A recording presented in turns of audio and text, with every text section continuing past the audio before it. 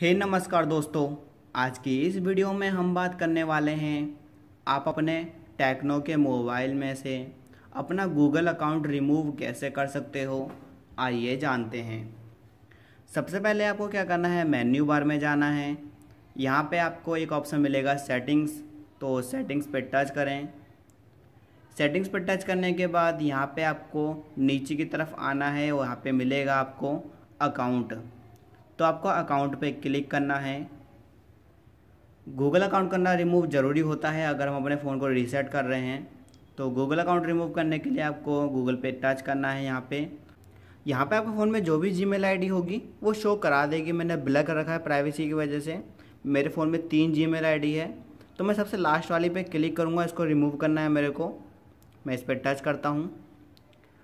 यहाँ पे आपको जी मेल दिखा देगा आपकी। फिर आपको यहाँ पे दिखाई देंगे तीन डॉट, आपको इस पर टच करना है और रिमूव अकाउंट पे टच कर देना है।